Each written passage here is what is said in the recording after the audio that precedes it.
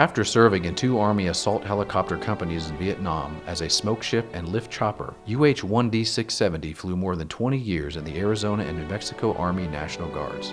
In 1999, the David Westphall Veterans Foundation, which operated the Vietnam Veterans Memorial, accepted the offer of the AC-670. The Huey was placed on the grounds of the memorial. Here it stood, continuing to serve but fading and weathering under the strong New Mexico elements for the past 17 years. Desiring for the Huey to shine again, as it so proudly did when it was serving our country and saving many lives, the memorial decided to find a way to restore it. It took three years, but finally in October of 2016, it left Angel Fire for Roswell, New Mexico, where many dedicated men and women volunteered their talent, time, and financial resources to make it happen.